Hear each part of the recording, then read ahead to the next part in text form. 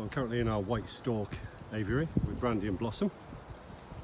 We've got Madeline, a retired secretary bird next door. Strutting his stuff, yes his stuff. As many of you will know, great supporters of us, you'll know that we got that wrong.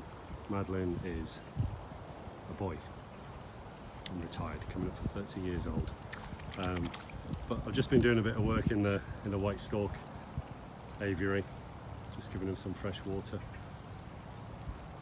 Just keeping them busy. Just cut the grass, weeding and rake the sand areas. I've just created this little bit of enrichment for them. We've got a little area here that I've just turned over the the earth, just to create a bit of exposure for worms, bugs, grubs, insects, all sorts of little bits of life that the storks will take full advantage of. So a little bit of enrichment for them. So um, they've actually been poking around in there already, but when I leave here in a few moments time, I'm just going to clear up.